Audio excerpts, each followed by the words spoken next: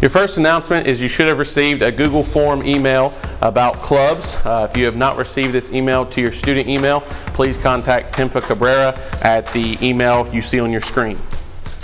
Don't forget, parent teacher conferences are this Thursday and Friday, so you guys do not have school. Hope you enjoy your great long weekend.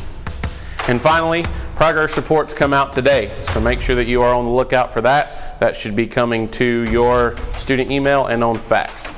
That's all for now. Let's get ready for chapel. All right. Well, afternoon, guys. We want to go ahead and get started in our chapel. We want to pray right now uh, because a special day for what we have today is again, this is the um, our third week of every month, and on this week after chapel, we have Miss Hicks going to share is going to share with us some things we need to know about college preparation so we'll have some time for that. I want to give her as much time as possible. So let's pray and get started today. Father, thank you for this time that we get to take out of our day here at the end of it and focus on you. God, I pray you bless our time of chapel. May you receive all the glory in our worship, all the glory as we hear from your word. Father, may you be magnified and lifted up. May all the business of our lives, the thoughts that are kind of preoccupying us, may they just kind of pale in comparison to your beauty. And we pray this in your Son's great name. Amen. Let's all stand and get ready for worship.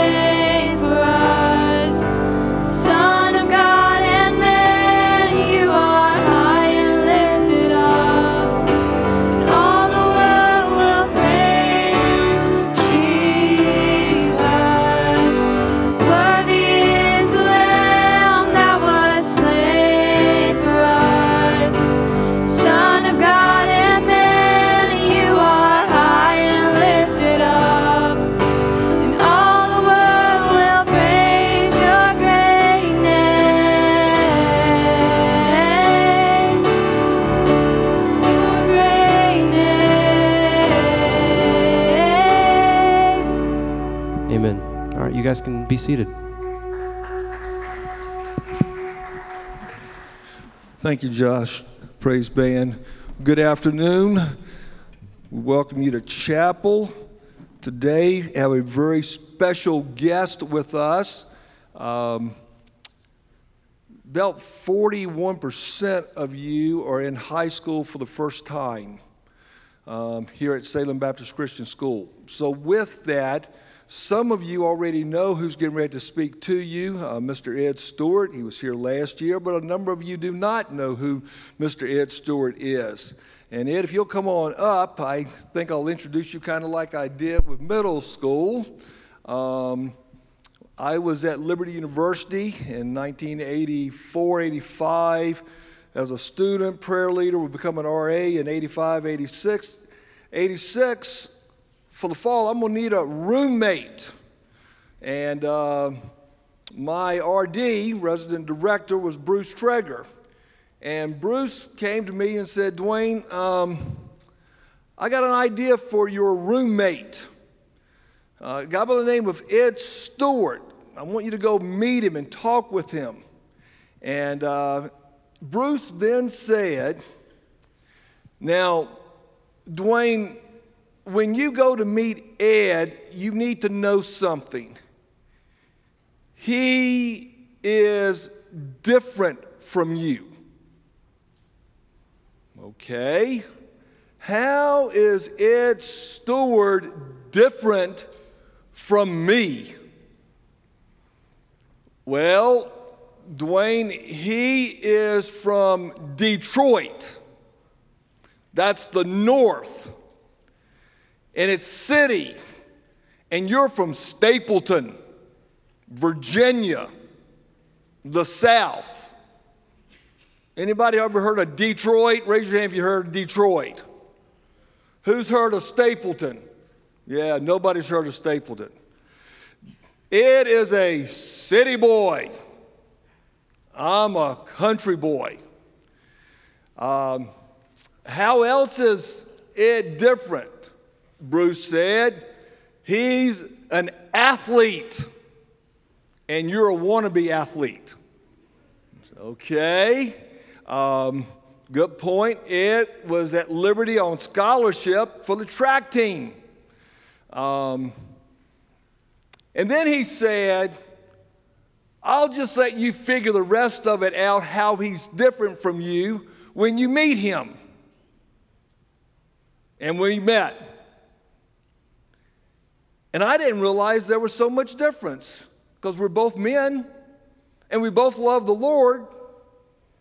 I got back to the dorm, Ed, and one of the baseball players came up to me and said, I heard you're considering Ed Stewart to be your roommate, to be our RA. And I said, Yeah.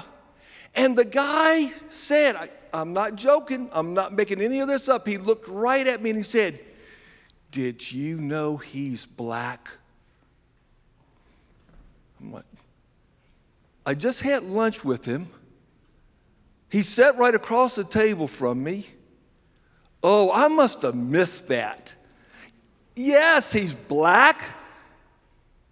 I was more concerned about him being from Detroit and a city boy than being. I'm like, what? He's black. That wasn't a. I'm like, is that supposed to be a problem? And I'm introducing Ed Stewart to you this way. He became my roommate. And the only reason we say it that way is because I was the senior RA on the floor. And we became best friends. I consider him one of the mentors of my life.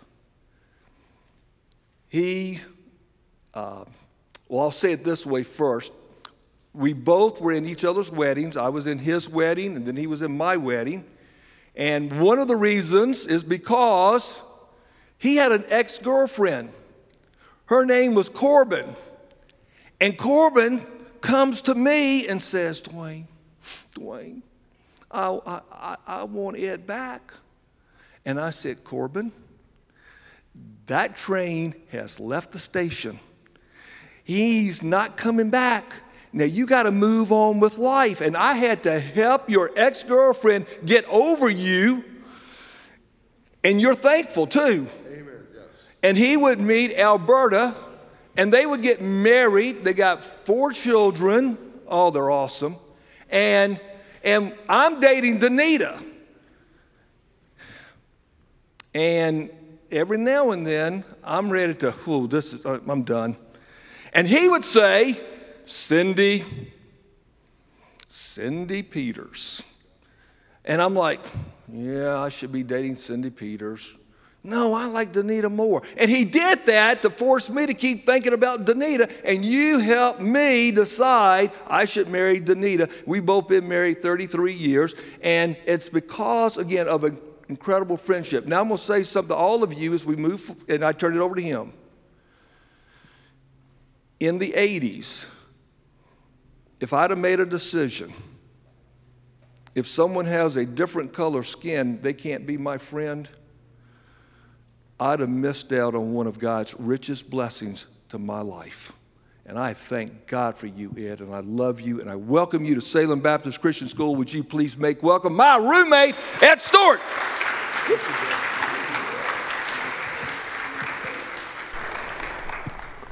You know, yeah, you, you know your headmaster, and I always get a little nervous every time he introduces me because of stuff like that. But no, I love that man. Uh, we 35 years, we still we call each other roommate when we talk to each other. Um, God has allowed us to have a bond that has passed through time, and I'm just grateful to know Him and to be here today. One thing you need to know about me before we get started something I believe with all my heart the gospel changes everything.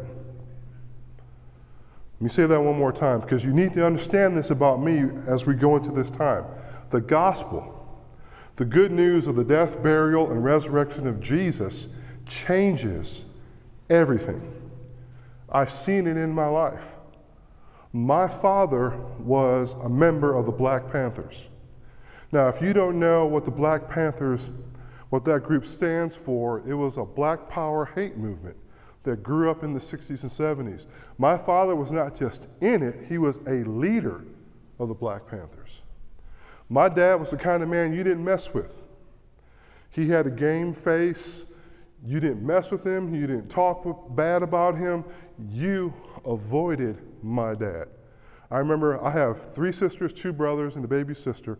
One of my brothers got into a fight with somebody in our neighborhood. Dad found out about it, went to the man's house, knocked on the door. The father answered the door. Dad dropped him right there in the doorstep of his house. He turns to walk away. He had three sons. The three sons went to my dad. He dropped all three of them in the front lawn. I'm watching all this thinking, never make this man angry ever. Dad was a bad guy. He drank, he smoked, he cussed, he was not somebody who spent time in the house, he was a bad guy. One Sunday, I got up, I was about five years old, and I'm looking for mom and dad. I couldn't find them. They weren't around. I asked my sisters, I don't know, mom and dad left this morning. I don't know where they went. We weren't a church family. We didn't go to church, we didn't do church. But I found out later that afternoon something happened because the door opened that afternoon and a man who looked like my dad came in the house. I say he looked like him, but yet he didn't because the game face was gone. The anger that he carried around was gone. That same man went through the house. He collected all of his alcohol, all of his beer, all his liquor. He boxed it up, threw it out. His pipe collection, his cigar collection, he gathered it up, he threw it out. He never cursed again. He started reading stories to me and my little sister, and we're thinking, what's, who's this guy? We really knew something happened the following Sunday because all eight of us, which was a sight to behold in and of itself, got into a car, drove 30 minutes outside of Detroit to an early all white megachurch. And we pull in the parking lot, we're all getting out going. something didn't add up. And my brother actually said out loud, Dad, didn't you tell us about white people? Shut up, boy, get in church. You know what we found out? Dad had gotten saved in that church. He'd come to faith in Christ in that church, and that was the change we witnessed. He became a member in that church, a leader in that church, an elder in that church, a Sunday school teacher in that church, and all six of us, brothers and sisters, came to faith in that church because we witnessed 2 Corinthians 5:17. Therefore, anyone in Christ becomes a new creation. The old has gone, the new has come. I saw it with my own eyes, and it has forever changed my life. If my father, who is 87 now, were to walk in here right now, you would call me a liar. There's no way this guy was all that way. He is an incredible man who has taught me so much about life, still speaking and speaking the truth of God all over the country for the Gideons. An amazing man changed by the life of God. Well, that's a little bit of my story. Now I want to tell you about another story. And if you have a Bible or if you have a Bible app, turn to Luke chapter 15. Luke chapter 15 it's in the New Testament, Matthew, Mark, Luke chapter 15. Because I want to talk today about something that I think will be helpful, instructive, and a blessing to you. Because there's one thing I want you to hear. If you don't hear anything else I hear today, hear this God loves you. I want to repeat that. God loves you. And it's a love that is very present and very real. And Jesus, and he's trying to express and show God's love, Jesus often used stories called parables to tell us about God's love for us. And he does it in this parable, in this story, Luke chapter 15, verse 11. We will see the love of God for you. It starts off like this Luke 15, 11. And he, Jesus said, There was a man who had two sons. And the younger of them said to his father, Father, give me the share of property that is coming to me. And he divided his property between them. So, what we see here is a man who loves his son. We know this man loves his son because he's done something incredible. He has created in his son a beautiful home, a beautiful heritage, a safe place for his son to be and to live, and my marker is dead. So I will change colors. That's what you do on the fly. There we go. This man loves his son, and we know he loved his son because he cared for his son. Not only as he lived with him in the day, but after, if something bad would happen to this man, he set aside an inheritance for his son. I was thinking about that last night and I thought, hmm, how can I express to these kids what this inheritance looked like? Well, I looked up a couple stats. The average income of an adult in Winston-Salem is about $45,000. That's average. That's higher and lower, but as a base set, about $45,000. If you wanted to retire and make sure you had $45,000 the rest of your life, you need to have about $3 million invested right now. So, what this man has done, he's invested for his son's future. He's loved and raised this son, but this son, even though he has a great father who loves him and has cared for him, he has said, You know, Dad, I don't want to wait till you die.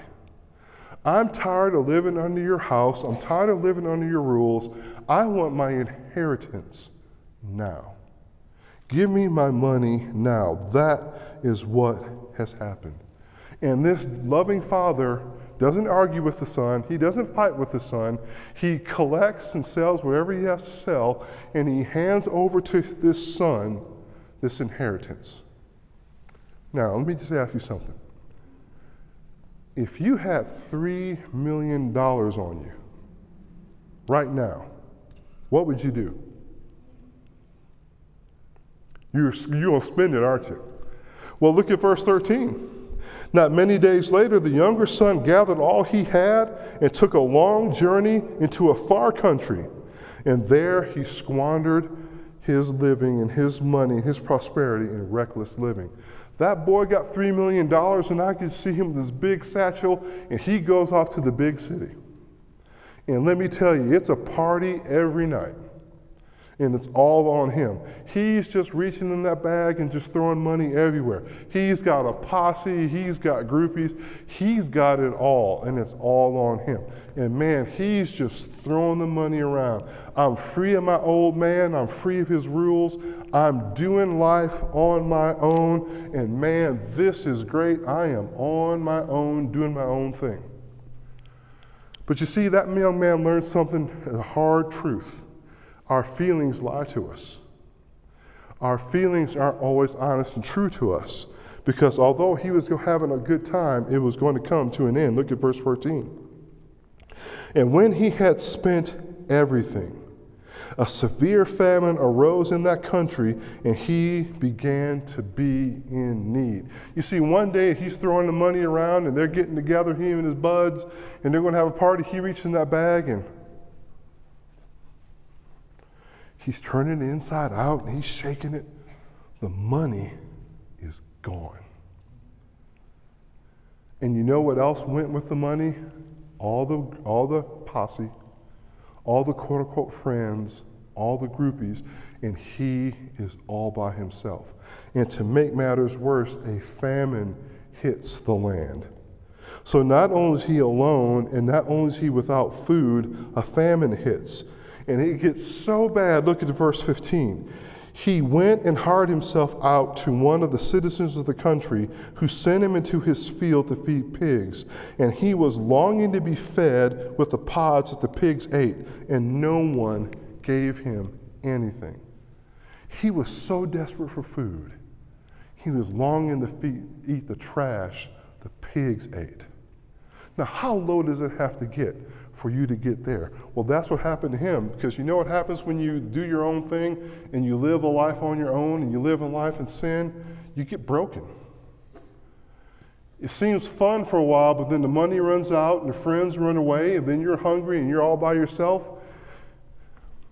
And that's where this young man is. From the highest of the highs to the lowest of lows.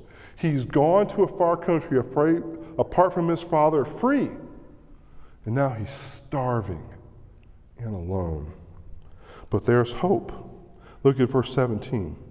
But when he came to himself, he said, How many of my father's hired servants had more than enough bread, but I perish here with hunger?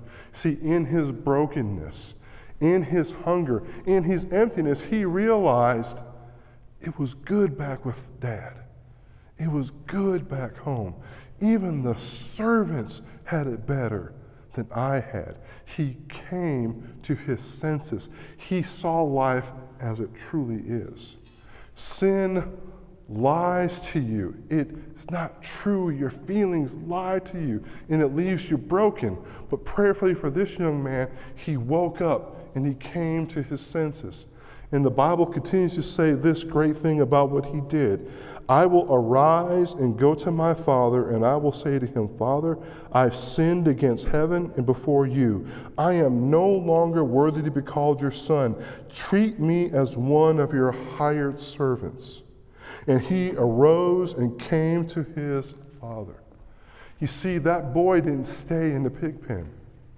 He chose to come back home. He repented. He went from where he was and he went and found the Father. He turned from his mistake and he went back home. What kind of reception do you think the Father had? If that was your son who disrespected you like that, who took that money and blew it, how would you respond to that young man? Well, look at the Father's response. But while he was still a long way off, his father saw him and felt compassion and ran and embraced him and kissed him. You see, when this boy turned from his wrong to his father, he found the father's love right there waiting. And he confessed to the father. He said how wrong he was. But the father's response in verse 22 is precious. The father said to his servants, Bring quickly the best robe, put it on him, and put a ring on his hand and shoes on his feet, and bring the fattened calf and kill it, and let us eat and celebrate. For this my son was dead and is alive again. He was lost and is found. And they began to celebrate. The boy came home. The father embraced him, and he's right back in the good hand and graces of the father. That parable is a picture of how God loves everybody in this room. Because you see, God has a design for your life. God has a perfect design for everybody in this room a, a, plan for you to be His child, to be in His family, to be loved by Him, to be worshiped, worship Him, to be close to Him, to have His peace, His joy, His love, His Spirit in you. That's God's design. That's what He wants for all of you. But see, there's a problem in all of our lives, something that keeps us from God, and this thing called sin. Sin pulls us away from God's design to do life on our own. We cheat, we lie, we steal, we get into pornography, we get into all these other things that are wrong. We're disrespectful. We are disrespectful to parents, to teachers. We treat others bad, we bully others. We do all these things that are against God's design because we want to do life on our own. Romans 3:23 puts it this way. The way it says for all have sinned and come short of the glory of God. All of us have sinned. All of us have gone from God's design to do life on our own. And you know what they don't tell you about sin, what they don't tell you about bad things? They're fun for a moment. They feel good. If sin didn't feel good, we wouldn't sin. It's like the person who takes drugs for the first time. They get a high that they spend the rest of their lives trying to get again, and they never attain it. Sin lies to us and it gets us trapped, and once you get into sin, it leaves you broken. Broken relationships, broken in spirit, broken in our souls, addicted, wasted, abused. That is the result of sin. Romans 6:23 puts it this way, for the wages of sin is death. When you sin, you get something. You get a wage, you earn something. And what you earn when you sin is death. You earn brokenness.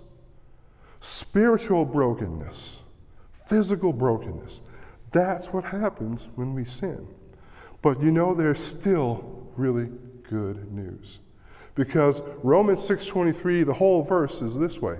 The wages of sin is death, but the gift of God is eternal life through Jesus Christ our Lord. And when we repent of our sins, when we ask God's forgiveness of sin, and we believe in His work for us on the cross, and we ask Him to come into our lives, we get His glorious salvation. Romans 5 8 says it this way God demonstrates His love for us in this while we were in our sins, Christ died for us. And because he died for us, he offers to us this great gift of salvation. And when you ask God to come into your life, you are now able to pursue him. I can't spell. That's okay. You get the message. When you ask God into your life, you are now on the path to pursue God's design. And for some of you, you've never heard that before. This whole thing is new to you. This whole thing about God's love, about sin, and about salvation, you've never heard that. Well, I hope today, this day, some of you make the decision to turn to Christ for salvation. For God so loved the world that he gave his only begotten Son, that whosoever believeth in him shall not perish, but have everlasting life in His glorious design. But there's another group who needs to hear this message of the prodigal. Because remember, the prodigal was a part of a family. And you know, family members, children of God, can still sin. Children of God can still not be all that they need to be for Christ. Children of God can still not follow Him like they should. And yes, believers can still sin. And there may be some of you in this room, you're a Christian, there's no doubt about that. You're going to heaven when you die, no doubt about that. But you're not living for Him like you should. You're not reading your Bible. You're not praying. You're not helping one another. You're not, you're bullying. You're doing, you're treating your parents wrong, other. You find yourself right here, even as a believer. And you find yourself with broken relationships like the relationship with God is broken. But maybe you're tired of that. Maybe you now see that there's more to this life than being broken and apart from God. You, as a believer, can also repent. 1 John 1 9 says it this way If we confess our sins, He is faithful and just to forgive us our sins and cleanse us from all unrighteousness. And even believers can turn to Him and could put back on the path of following Christ. I'm remembering, I'm reminded of a story of a great Indian chief. This is back back when, you know, before the America was settled and the Indians ruled and reigned across the earth. There was this wise old Indian chief with the full headdress, one star-lit evening by the fire, talking to his son, encouraging him, helping him grow up to be the next chief. And he's imparting wisdom to his son. And that chief looks across the fire to his son and says, Son, there's something you need to understand. In the heart of every man is a war. There's a war raging in the heart of every man on earth. It is a war between a bad wolf and a good wolf.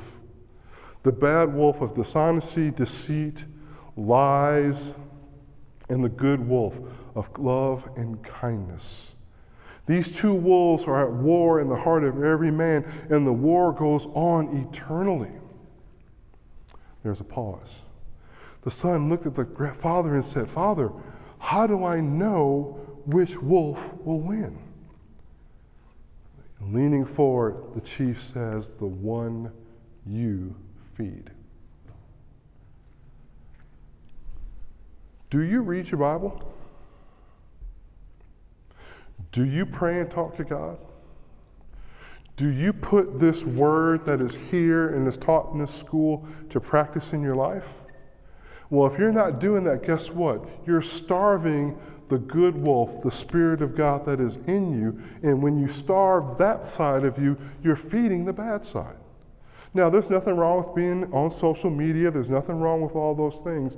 But if you are not feeding the Word of God into your life, you are setting yourself up for failure. So today, my question is this the prodigal is in all of us. Whether you are a Christian or not a Christian, the question is today, are you prepared to do something about it? If you've never known Jesus Christ as your Savior, are you willing to turn from your brokenness to Him? Some of you, you're a believer, but you're not living for Him like you should. Maybe today you need to rededicate yourself to pursuing God's design in your life. Every head bowed, every eye closed. Every head bowed, every eye closed. Everyone, please, in this moment, close your eyes and in prayer, consider these things. First of all, I want to ask this question Is there anyone in this room who can relate to being a Christian but not living like you should? You've not been content to live the way God wants you to live. You've wanted to do life on your own, even as a believer.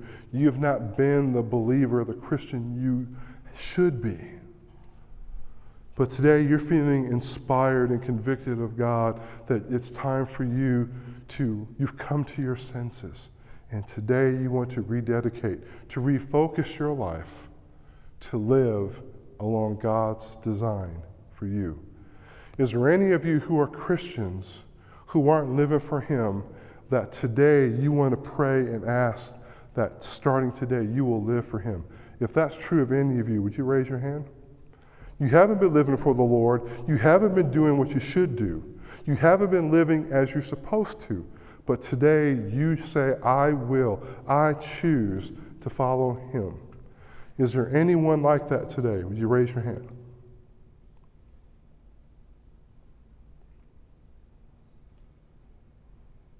Thank you. Is there anyone else? Maybe all this is new to you. You don't know anything about this whole thing about salvation. All this is new. But you've come to the sense that you need a relationship with Jesus Christ. You've never had one before, but you would like to know more about this Jesus.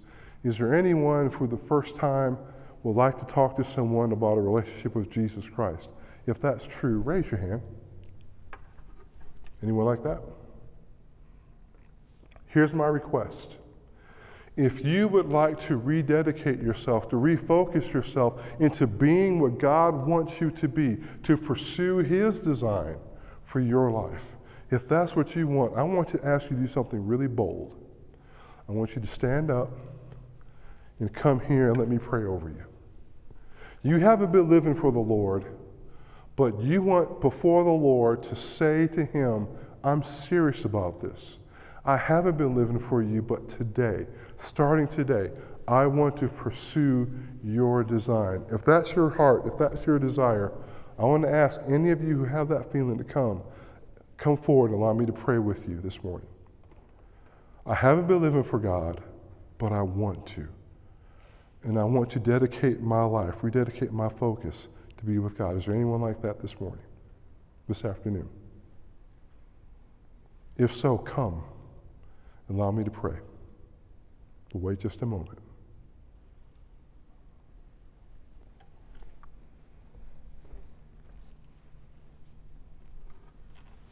Well, Father, we say this. I thank you so much that the prodigal is in all of us. We all have strayed. We've all gone away from you. But I'm so grateful that we serve a God who loves us so much, who cares for us so much, that in Him we always have a great welcome home from Him. A God who, when we turn from our sins to Him, takes us in and celebrates and worships and is glad that we are coming back to Him. And He brings us in and loves on us as a loving Father that you are. Thank you, God, for your love. Thank you for your presence. Thank you for your work in our lives. Thank you for the students of Salem Baptist Christian School. And I pray that this is a dynamic year for them and that they will spend their days pursuing your grand and glorious design for them. We thank you for them and bless them the rest of this day, we ask. In the great name of Jesus, amen. Thank you all for your time and patience.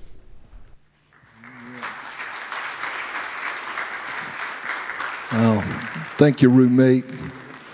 You told them the truth. God loves them. Folks, God loves you. And the greatest thing about His love is that He allows you to repent, to make a U turn.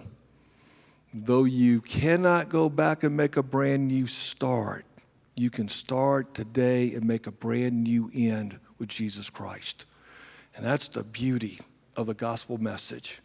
So, roommate, again, thank you. Um, you ever down in um, Columbia, South Carolina, Shandon Baptist Church, stop by and see um, Brother Ed. Um, I believe I'm looking for Hillary Hicks as part of our extension of chapel so we can accomplish things with you that we don't usually get to.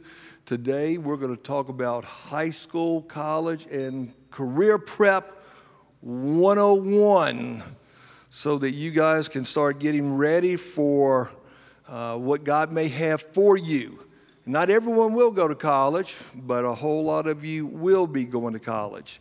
And um, uh, Hillary, do you need the microphone or you? All right, I'm going to put that in your hand. Welcome, Miss Hillary Hicks. Thank you. Good afternoon, guys. How are we? Good? A little tired? It stopped raining, and I'm really glad for that because I enjoy the sunshine. Anybody else? There's some rain people in here too. I know some people like it when it's real dreary. Some people like it when it's bright, and I'm one of those who needs it to be really bright. Um, so, again, my name is Mrs. Hicks, and some of you I haven't been able to meet yet, but I'm the school guidance counselor and the academic advisor. And I am really, really excited and thankful to Pastor Rick for planning this time in once a month. We're going to be able to take a look at some topics that are applicable to you in high school and for college and career prep. This is a great time for us to sit together because there's a lot of you, and there's one of me and I'm only here part time. 20 hours a week is not enough time for me to get with each one of you individually. So I'm thankful for this time. Hopefully, it will spur some conversation for us so that when you do need to seek me out one on one, or I need to seek you out one on one, we've got a foundational basis. And you may already know hey, you spoke about this in chapel. That's what we need to talk about today. So, one thing I want to let you know off the bat is that anything that we're going to talk about is also going to be on our website. So, you're going to have this PowerPoint with my notes typed on each slide. So, mom and dad, you can find it. You can go back and look at it if you have questions. I'm also going to create a QR code that's going to go on a bulletin board on the hallway so you can scan it and get straight to this material okay? I want you to be able to see it and have it and refer back to it. So, first, I want to explain just a little bit about what I do and what I can help you with. So, my role is to help you understand academic progression. So, 9th to 10th to 11th to 12th to college, and to assist you with tools that you can use to explore what you want to do after you graduate and then how you're going to get there because that process is going to look very different for each one of you. So, today we're going to start with a topic that is completely foundational it's your GPA. I'm going to figure out which button to push. Ha! Are you going to push the buttons, Miss Urker, or am I? You're going to do it? Excellent. Thank you.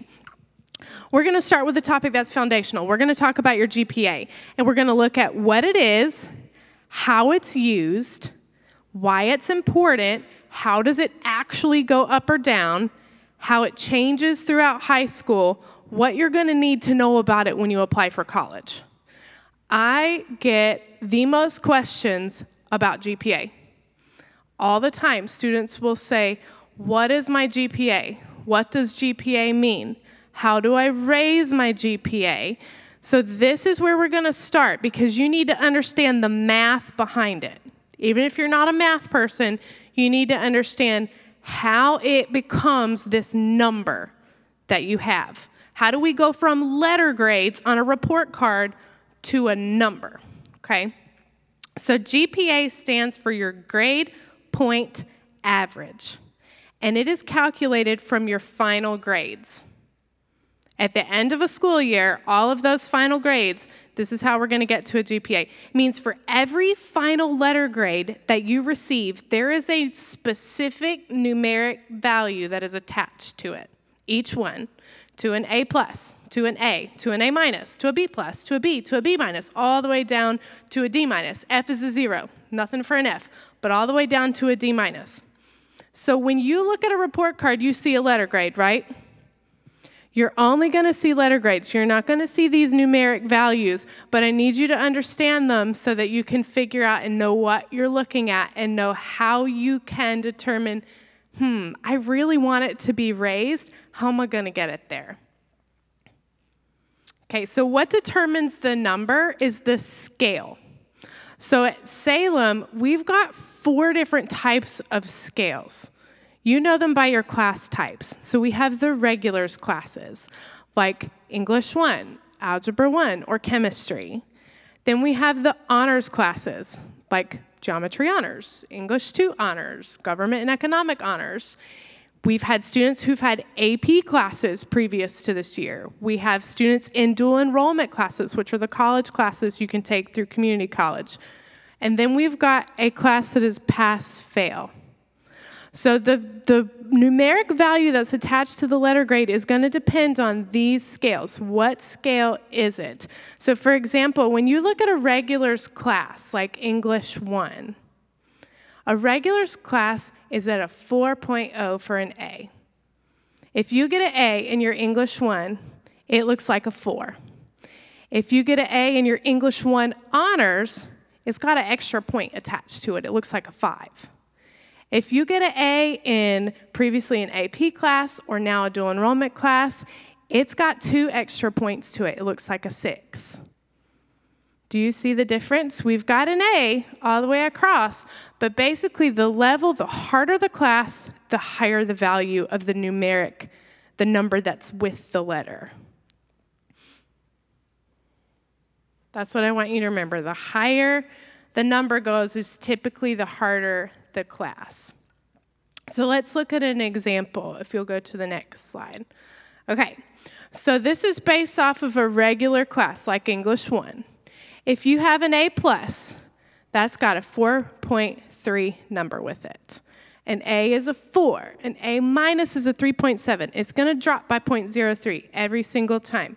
So every single time you get a C on the end of your report card, that's going to add two points to your GPA. If you're down in that D minus range, it's 0.7, which isn't going to do very much at all. This is for a regulars class. Remember, that honors class is at a 5. It's an extra point. So an A in an honors class is a 5.0. So a B would be a 4.0. Does that make sense? Everybody following and tracking me? I'm seeing a lot of heads nodding. That's good. Okay. So let's look at an example of what a report card would look like. So if my GPA is calculated by adding up the numeric value associated with the letter grade, then it's divided by the number of classes I take. That's why it's called the grade point average. So it takes these numbers, it adds them all up, and then it divides it by how many classes. Pretend this is my freshman year, and I made an A plus in PE and health. I made a B in my writing class. We see a B plus in my English 1, an A in my New Testament, a B plus in physical science, a C in algebra 1, and an A in US history. Not too shabby. So these numbers on the right, that's my numeric value. So my A plus earned me 4.3. My B earned me a 3.0. My B plus earned me a 3.3. My A in New Testament gave me a 4. My physical science gave me a 3.3. My algebra 1 gave me a 2.0. And my US history gave me a 4. All of that added together is a 23.9. But because it's an average, I need to divide it by my seven classes, which is that 3.4 GPA number. And now I have a high school GPA all of those numbers added together divided by my number of classes. So if you'll go to the next slide, this is my sophomore year, okay? I didn't do so hot. So I did okay in my Old Testament, but things kind of went downhill. I got a C in my Spanish 1 and a D in my English 2, B minus in my computer elective, a C minus in biology, a D minus in geometry, math is not my thing, and a D in government. So you see, uh, look, there's that 4.3 again for my A plus. But now you're going to see a 2 for the C and a 1 for the D. So you start adding those up and dividing them by 7, and you see that 1.9 GPA. But here's where GPAs get tricky because they build off of one another. So my freshman year was okay. My sophomore year got real low. It's not year one plus year two divided by two, it's still divided by class, by credits earned. All of those numbers are all my 14 classes. Added together is 37.3. Divided by 14 is a 2.66. So I just went from a 3.4 to a 1.9 to a 2.66 cumulative GPA. That's a big drop, isn't it? So, what I need you to see is how quickly it can go down because a GPA will drop a lot faster than it will come back up. It is much, much harder to get it to come up. If you come in and you blow off your freshman year and you say, I'm going to worry about this when it's time for me to apply for college, then you have made a gigantic mistake. because you cannot recover well from an extremely low GPA. We're going to take a look at a quick video that's going to help us understand how hard and how much work it is to bring a GPA way back up.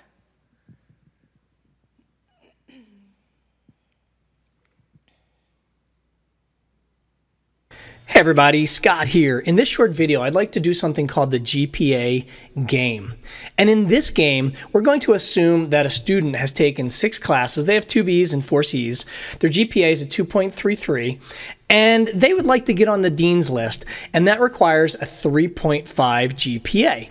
They'd also like to get into a program next year, and it requires a high GPA, so they need to raise their GPA up a little bit. Let's assume, for instance, that all classes are three credit classes. It just makes it easier. And before I go any further, I'd also like to note that I'm not saying the grades are the most important thing in the world. Of course, they're not, but sometimes you need a good GPA to do the things you want to do in school. So, my question to you is, how many A's will a student need to get to get their GPA from a 2.33 up to a 3.5? Just think about that for one second. And then I'll go through and I'll start adding classes, all straight A's, and see how many it takes. You got that in your head? Okay, well, let's start adding classes here and see what we have. And by the way, you can do this as well. Just go to Google, type in GPA calculator, find the calculator and then just put in the grade and the number of credits. You'll need to do both. And you can see how the GPA just went up there a little bit. Let's add another class. They're doing pretty good. Okay, it's probably not going to take too many, right? It's two classes. I need to keep track of this. Let's add another class. Straight A's, we're assuming straight A's.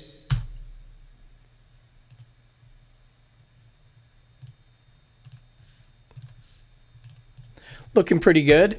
Here's four classes. All right, now their GPA is a 3.0. Okay, so how many is going to take to get up to a 3.5? Let's check it out. I'm going to speed up the video just a little bit so you can see how this works.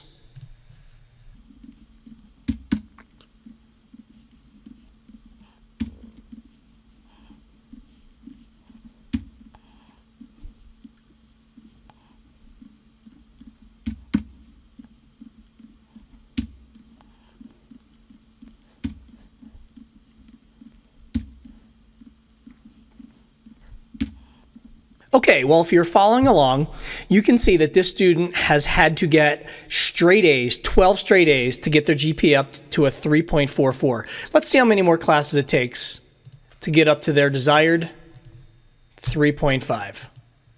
Not yet.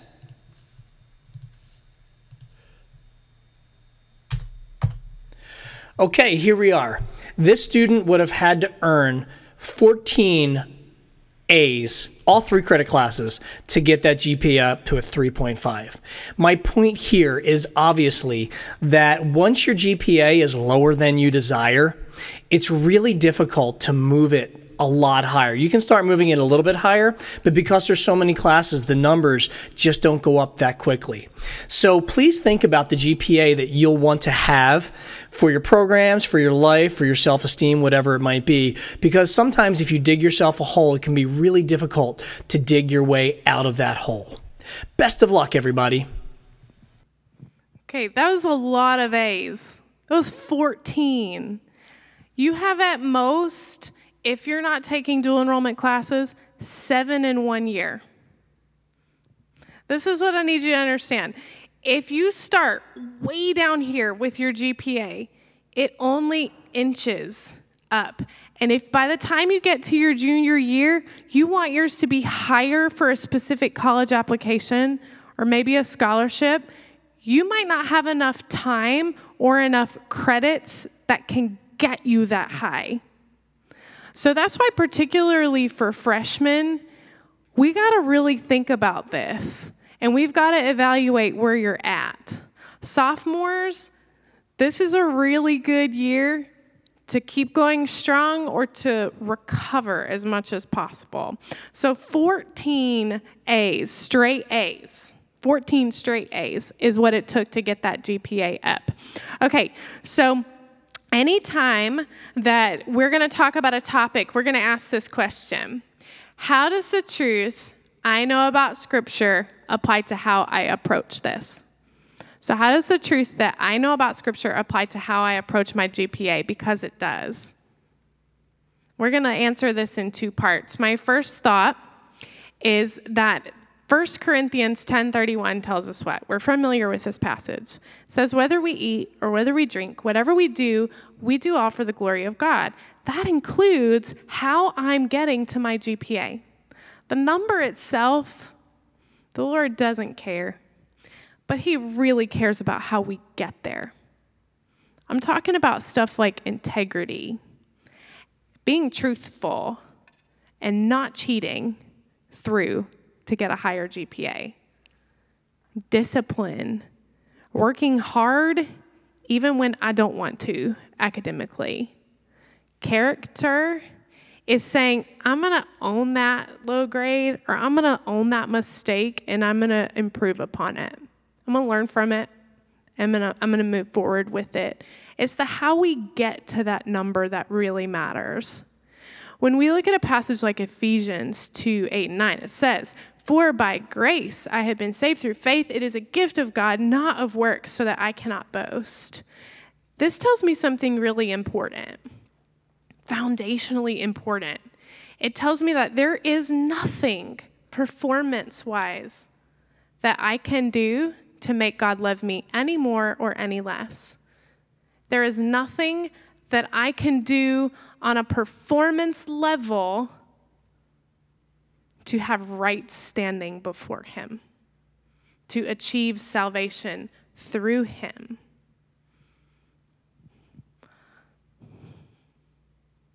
This may be a little bit tough for some of us because some of you put a lot of pressure on yourself with your GPA.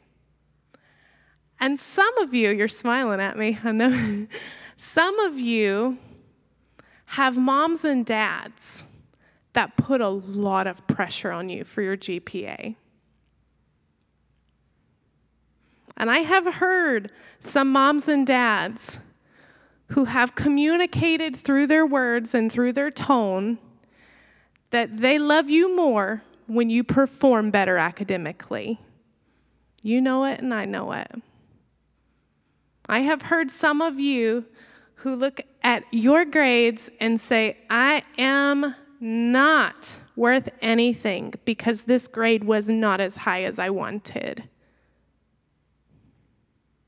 But when we look at our GPA through the truth of Scripture, we understand that our educational culture needs this as a benchmark. We're not going to get into college if we have no GPA. But foundationally, it does not earn me right standing before the Lord. Yes, He cares about how I get there character and integrity and discipline cares about my work ethic. But there are far greater things that are important. So while we will learn about this, because we are in an educational culture, we will also remind one another, and I will remind you that this is not who you are. It gives us a picture of how you are doing academically, but it is not who you are.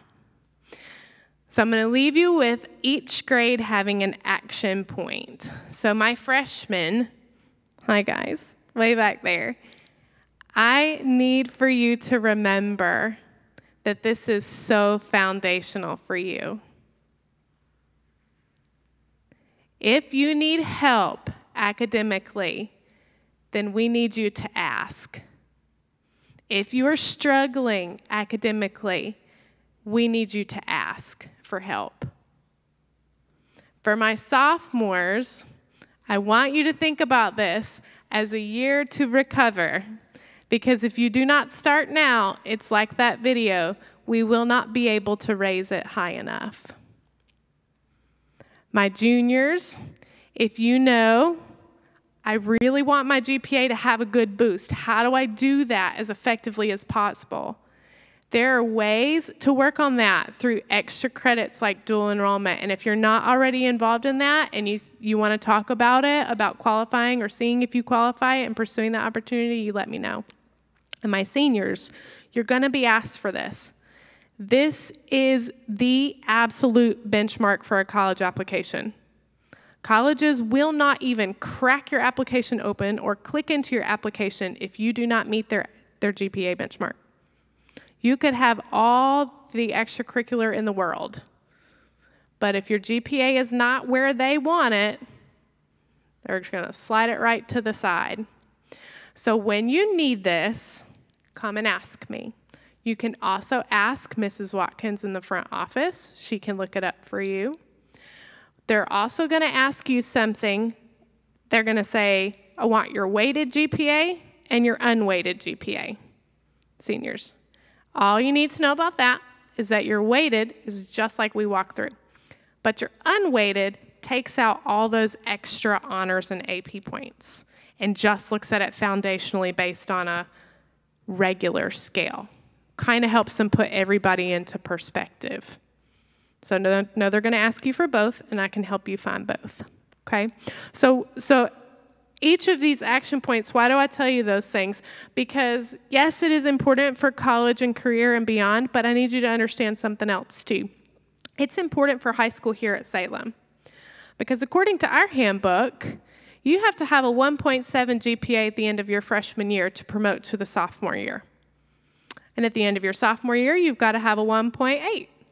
And at the end of your junior year, you need a 1.9, and you have to have a 2.0 to graduate. Now, those are really not high GPAs, quite honestly. But if you come in and blow off freshman year and blow off sophomore year, you need to know in the back of your mind that you may not be able to recover high enough to finish your years at Salem Baptist Christian School, let alone set yourself up for academic success.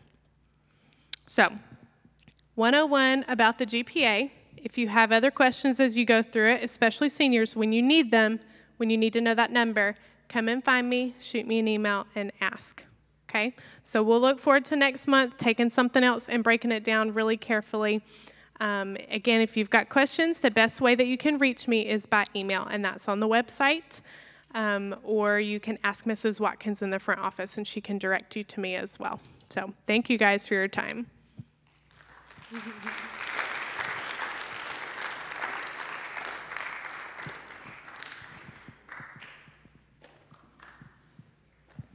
Thank you, Ms. Hicks. Luke 2:52 Jesus grew in wisdom, stature, favor with God, favor with man. And growing in wisdom intellectually is part of why you are here. All right, Rick, we're wrapping up today at 246.